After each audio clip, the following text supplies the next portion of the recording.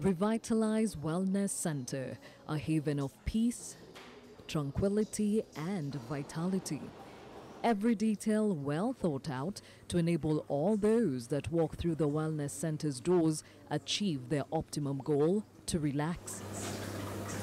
There's four ladies coming for a spa day. This is Susan Rodrigues's second home away from home. An experience that would have crippled her future instead gave her wind beneath her wings. Her husband died of diabetes three and a half years ago. He hated exercising, would never do a massage, he was stressed out. So I felt when he went, he was the inspiration behind all this. So I said, I'm going to start something where people can come, work out, feel good, do a massage, feel less stress, do their nails, do their hair. And that's how the whole story started. A mother of three adults and recently a grandmother, Susan has had to drastically change her lifestyle and leave what she preaches. I use my gym every single day. I've lost 10 kgs since I started. I feel so different. I do massages on a weekly basis. I do facials. I do my nails.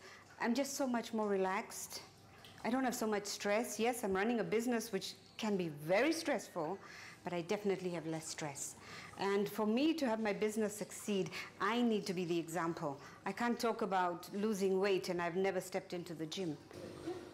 Almost three years later and two revitalized wellness centers so far, Susan greatly attests her success to injecting young life into her business. I kind of go back to when I was first looking for a job all those years ago. You'd be told, oh, you need three years experience, but you're just com coming out of college or university. Where do you get three years experience? Yet, these are the people with energy. So if you look at my staff, 85% of them are below 30 years old. In fact, you might even find some that are below 20, 25. But I believe in bringing the young people in they work hard. This is their first job. They're going to give it everything they've got, most of them. And that gives them a chance in life as well. So before she stepped out into the world of wellness, Susan had dedicated 30 years to the corporate world as an accountant. But I can tell you now, this is my passion. I, don't, I didn't know anything about the beauty industry. I've learned. I've learned what I need to learn to run my business. But I'm telling anyone out there who wants to do something different, don't be scared to do it. Just get there and take the first step. If you're passionate about what you do, 99% of the time you are going to succeed. Born to a Scottish father and a Kenyan mom, Susan is as Kenyan as it gets and would like to cultivate the wellness culture across the country. All this despite the challenges she's had to deal with nurturing a new business. I think the biggest challenge is staff. That's just business. That's just business. But life happens to all of us. So somebody will call in, my child is sick, and you know on that day you're so busy, the spa is full, and suddenly you don't have, you're short one person, so you have to rearrange the whole schedule. It just throw you, throws you off balance completely.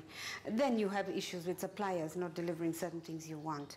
So if you're going to succeed, get rid of those challenges. There's always a solution. But if you're passionate about what you do, then it does not seem so much of a challenge. Susan is living her dream, one that was born out of a painful experience, but in a way has found a way to give back to all those that patronage her space.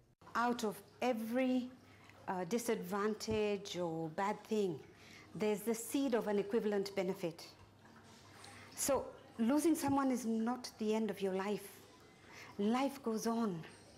And you must pick up from where you were. Whoever you lost would not want you to sit back and just, I don't know, you know, grow old in a chair at home and sit there for the next rest of your life feeling sorry for yourself. You may not even have lost anyone. You may have lost a job.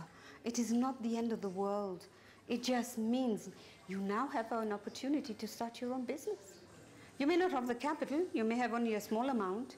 But start where you are. One step at a time, you're going to get to where you want to go. For Women and Power, my name is Gladys Gachanja.